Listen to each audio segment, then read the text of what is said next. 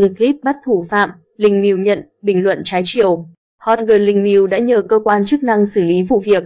Những ngày qua, Linh Miu trở thành cái tên được nhắc nhiều trên mạng xã hội vì vướng tin đồn lộ clip nhạy cảm. Trước dư luận ồn ào, hot girl này lên tiếng phủ nhận mình là nhân vật trong những đoạn clip. Linh Miu giải thích, cô có chiều cao khiêm tốn và chỉ nặng 45kg nên vóc dáng ở ngoài đời khá nhỏ bé, khác xa cô gái trong clip. Cô có thái độ gay gắt và quyết định làm rõ mọi chuyện tới cùng. Sau 2 ngày tìm kiếm thông tin, Linh Miu cho biết đã tìm ra người cố tình cắt ghép hình ảnh bằng các phần mềm chỉnh sửa ảnh nhằm bôi nhọ danh dự cô, cũng như trục lợi từ việc mua bán clip nhạy cảm.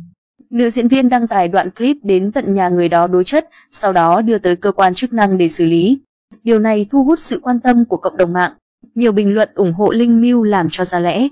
Tuy nhiên, bên cạnh đó, có một số ý kiến cho rằng đây là chiêu trò PR câu view của nữ diễn viên.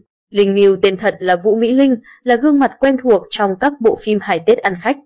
Người đẹp Hà Thành cũng là một hot girl có lượng người theo dõi lớn trên mạng xã hội nhờ vẻ ngoài xinh đẹp, gu ăn mặc gợi cảm. Linh Miu ưu tiên chọn những thiết kế kiệm vải, cắt ao để hình xăm lộ diện nửa kín nửa hở. Trước đó, cô từng chia sẻ về việc thường xuyên nhận những lời đề nghị đi tiệc, các tin nhắn khiếm nhã. Hiện tại bên cạnh làm nghệ thuật, Linh Miu cũng lấn sân kinh doanh.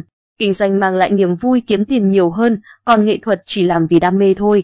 Ai làm nghệ thuật cũng biết, làm để giàu thì không có đâu, phải làm thêm nghề tay trái nữa, diễn viên 9X bày tỏ với chúng tôi.